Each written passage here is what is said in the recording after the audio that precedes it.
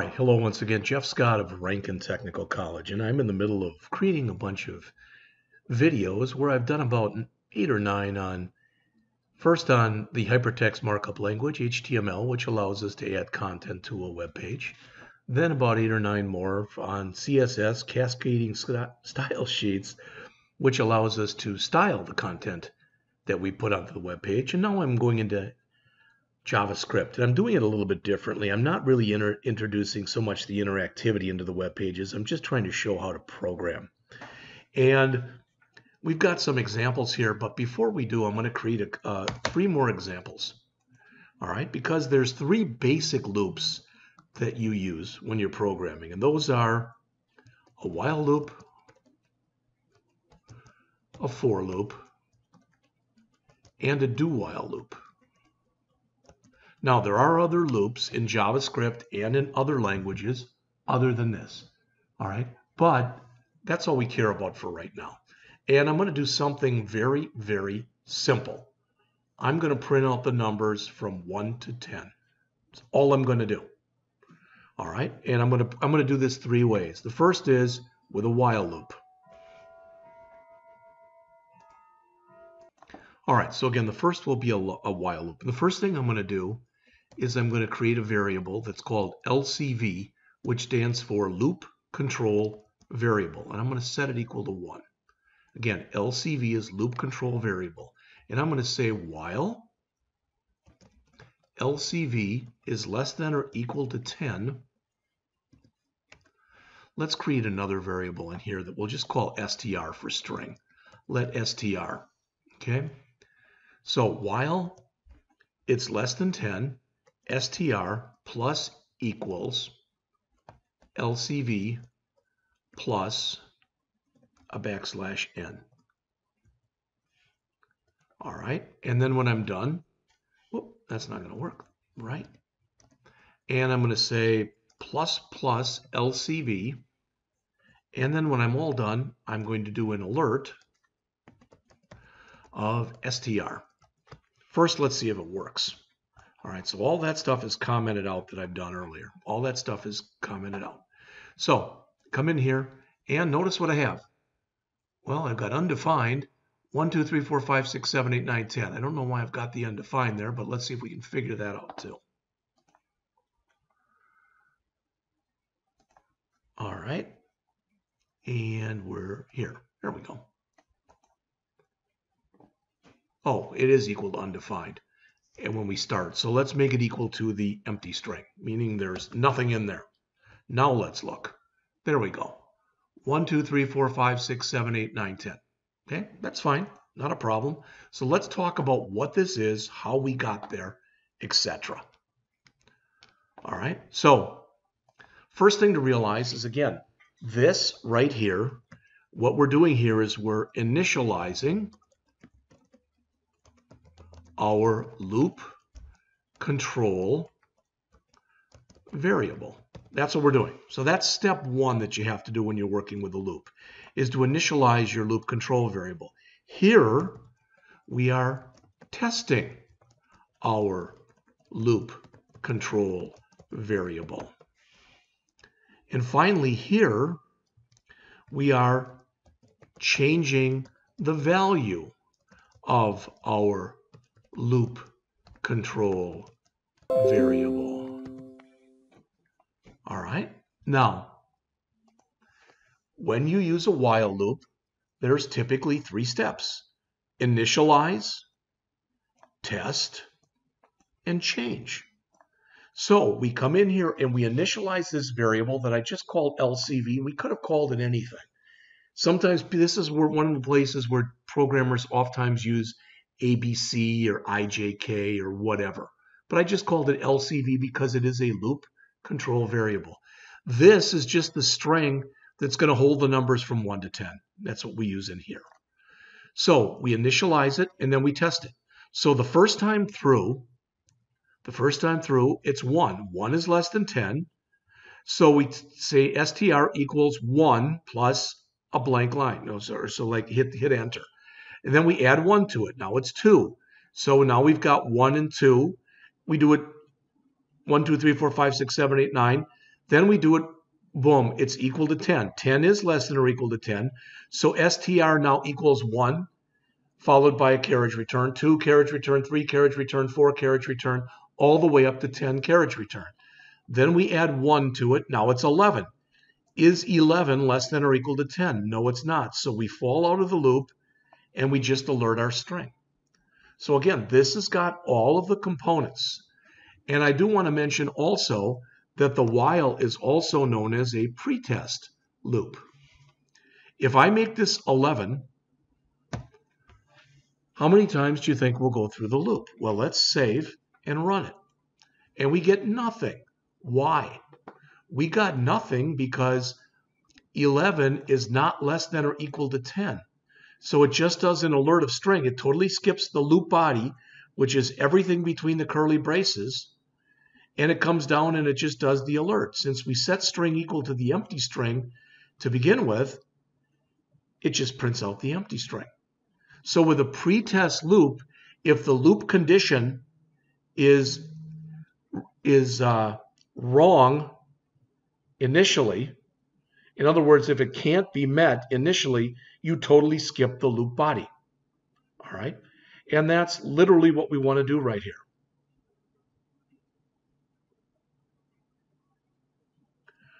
All right.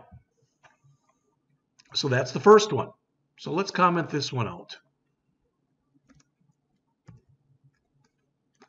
And I'm going to do them in order. And with the next one, we've got a for loop. And guess what? The for loop is also a pretest loop. You now know what pretest means, but let's look at it anyway. So I'm going to grab my code here, same code, but I'm going to make some changes to it. Okay? So um, I'm not going to let LCV equal anything. I'm just going to get rid of this line. In fact, let's just comment out the line.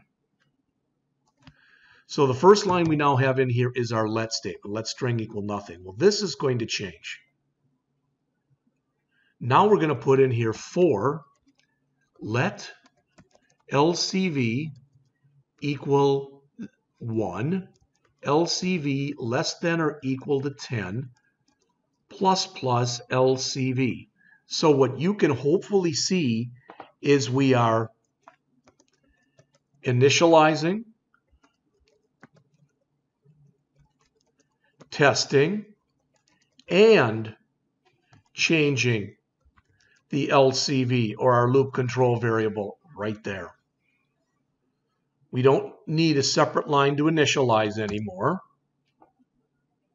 We don't need a separate line anymore like that. That's the whole thing. So previously we had one, two, three, four, five, six, seven lines. Now we've got one, two, three, four, five lines. So we cut down the number of lines we have. Does it work? Let's look. There's our 1 through 10. So yeah, it appears to work and work just fine. So what's the difference? Well, you've already seen it. But with a for loop, you initialize, you test, and you change the value of your loop control variable in one place. This only runs once. The initialization happens once. So that's the same line we had up here. All right. Now it's the same line that we had up here. Okay. This we have to test in every iteration of our loop to see whether or not it's less than or equal to 10. And once we run this, we automatically do this. So you can see how it, has got some brevity to it. Now, the for loop is called a counting loop because you need to know always exactly how many times you're going through it. With a while loop or a do while, you don't necessarily have to. But I've also mentioned that this is also a pretest loop. So what do you think? If I put an 11 in here, what's going to happen? Why did it show me that? There we go. Nothing. So let's try it again. Nothing. Since it's a pretest loop, and since the initial test was false, we skip the loop body and we just print out str. So those are the first two loops. And let's talk about the do while, which isn't used that often, but it's called a post, whoops, post test loop. And if you don't know what that means yet, you're going to very quickly. So I'm going to go back to my while loop up here, and I'm going to copy every bit of that, comment this out, and I'm going to comment out what I just put in here for this for loop. And I'm going to paste back, paste that back in. Now this is going to look a lot like, a lot like the while loop, except I now take this and I put it at the bottom. Now I type in the word do. And down at the bottom here, I put in my while statement. And I, this is one where I have to put a semicolon in there. So notice, just like before, so just like before, I'm still initializing. There it is. I'm still testing, but the test comes at the bottom. That's what makes it a post test and I've got my same stuff in my body that I had in exactly the same as what we had in for the while loop. So what's the difference? Since it's a post test, I'm going to make this 11. And remember, we're not testing this till the bottom of the loop. So we print out 11. It wouldn't matter what we put in here. We could literally put in here like that. And still, we get all that. So with a do while loop, you always run through the loop, the body of the loop. You iterate through it, which is typically the way you refer to it, always at least once. So those are our three loops. Okay. Now, we're at 12 minutes, which is good. That's about where I'd hope to be, about halfway through. So I'm going to comment this out. And I'm going to comment this out. I've got all those now. And I'm going to come down here to where we ask the user to enter in a number. Remember this? And I'm going to uncomment this. The whole thing. Why?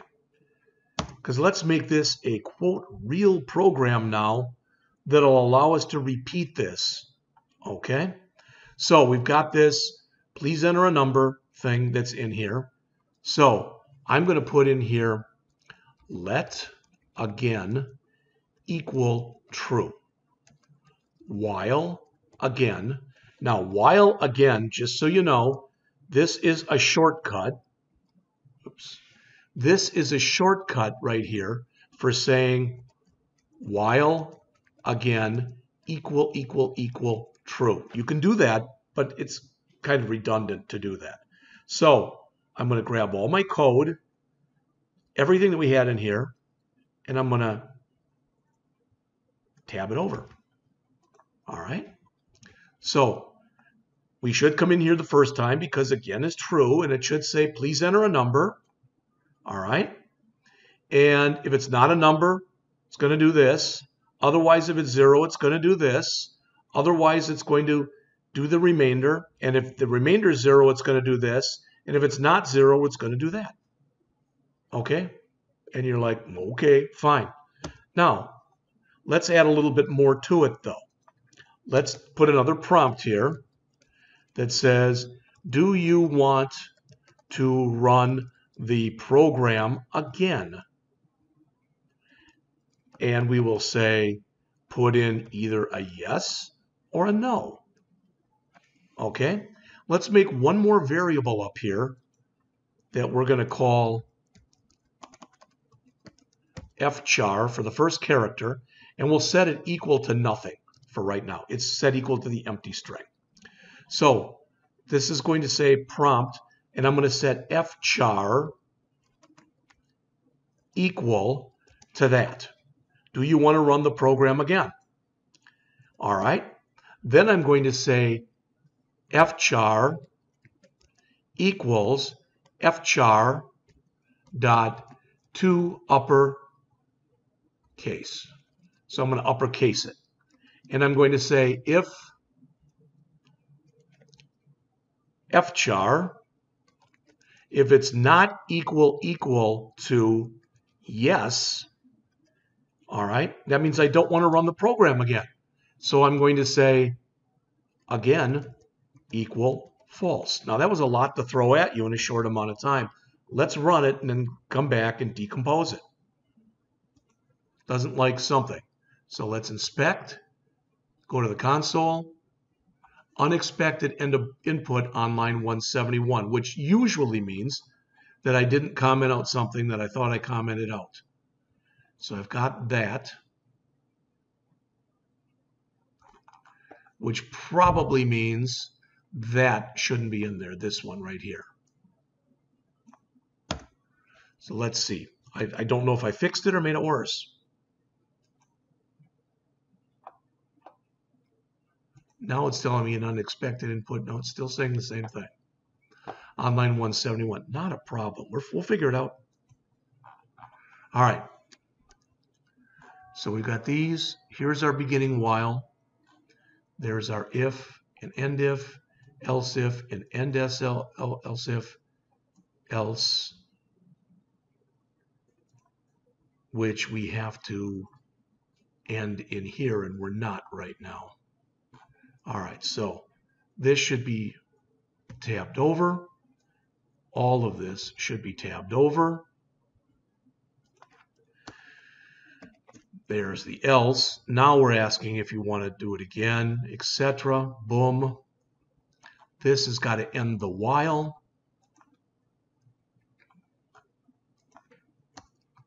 There. Now I hoping, still telling me here, breakpoint, which I don't want. So let's see if I fixed it. All right, please enter a number, 37. You entered 37, which is an odd number. Do you wish to run the program again? I'm just going to put in here a Y. All right, so it's allowing me to do it again. 56, which is an even number. Do I want to do it again? Now, here's there's still a problem with the program. I'm going to type in yes. And it, oh, it did say, please enter a number. Okay.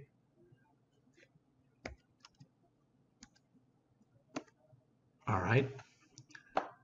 What I should have done here and forgot to okay, it equals to uppercase, but I also want to say f char equals f char dot char at zero. I only want to pluck out that first character. That's what this will do.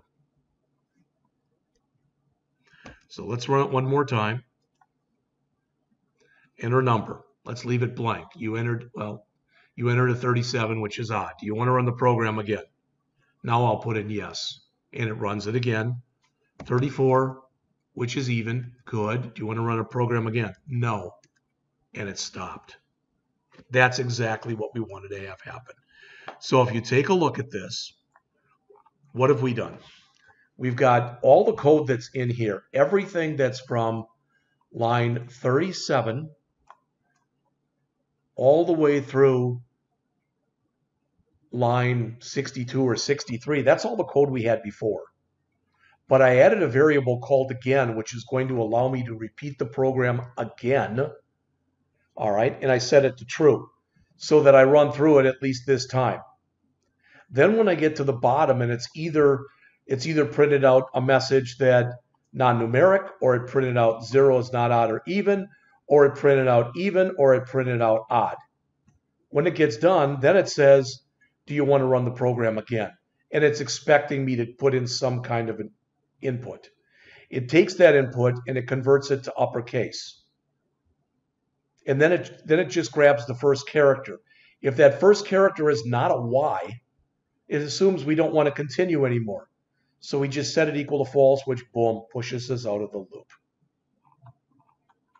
All right. That's 19 minutes.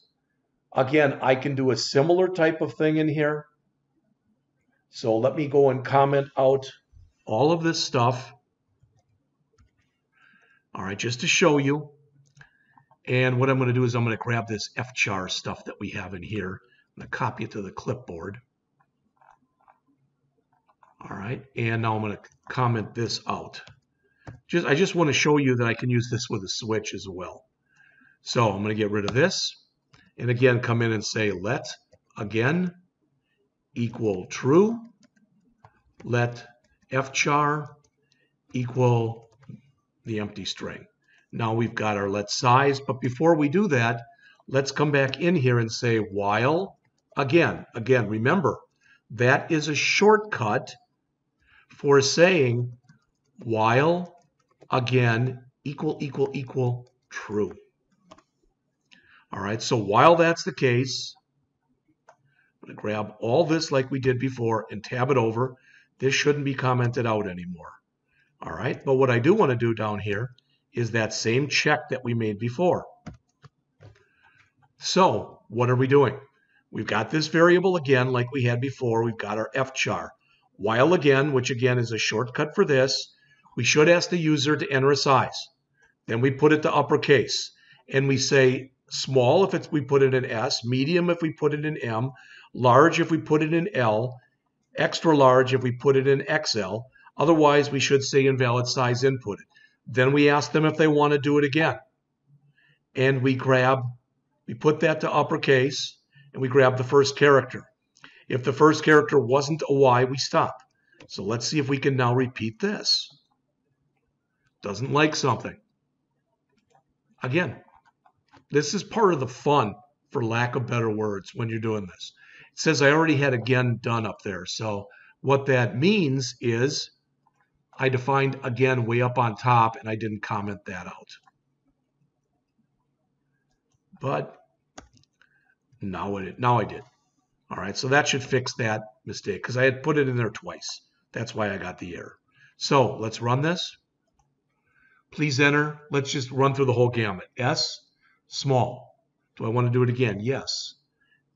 M, medium. Do I want to do it again? Yes. L, large. Do I want to do it again? Yes. XL, extra large. Yep. Do I want to do it again? Yes. Let's leave it blank. Invalid size inputted. Let's put in, do I want to do it again? Yes. Let's put in some garbage.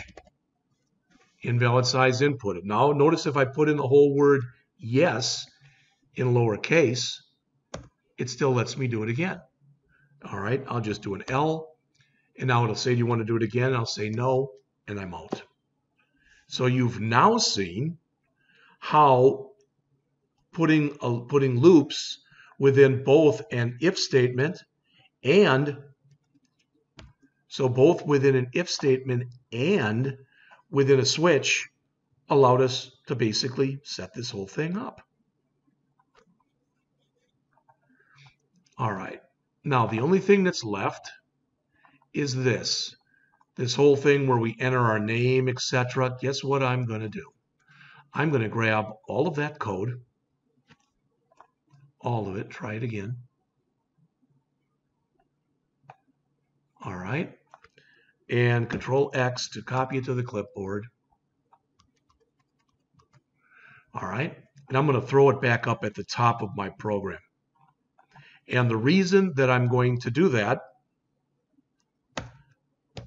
all right, the reason that I'm going to put that up here